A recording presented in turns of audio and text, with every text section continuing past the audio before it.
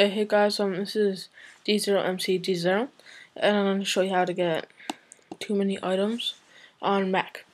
Okay, so first of all, this is, is done so don't hate, um, first of all, you want a jar file. This is like the easy stuff right here. The link will be in the description. Um, what you want to do is get this. It is right here on Minecraft Forums. Then you could download for Intel or PPC. Doesn't really matter. So, wait a couple seconds for that. So, while this is in, I'm going to just go get too many items. This link will be in the description.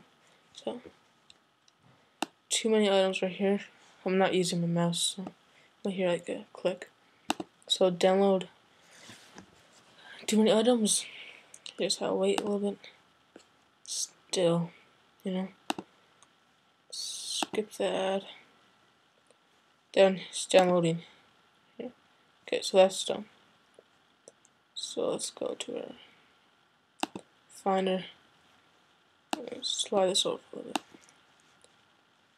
No, it's not it. Right here. So all the stuff is in here. Oh crap, things not it gonna be on my video, stupid.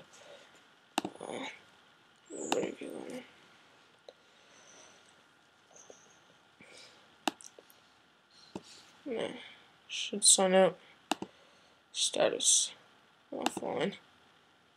There we go.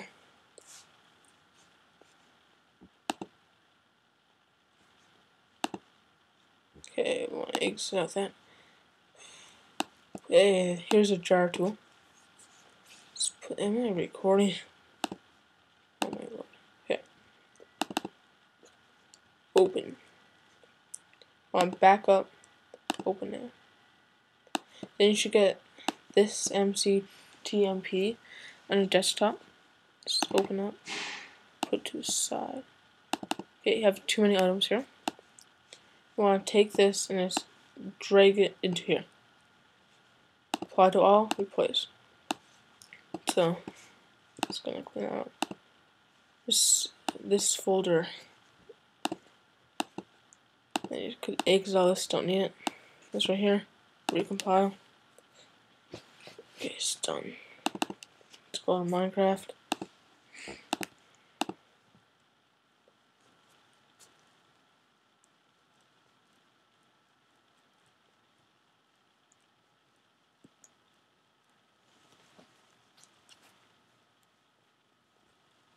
Okay, we are loading. Okay. And here we are too many items. See the goes here. Press shift to delete all of it. And, no, that. And say you want collect bones, save it. Then go do it all, just get it back with that. So it's pretty cool and yeah, and that's just my tutorial on how to get it. Thanks for watching.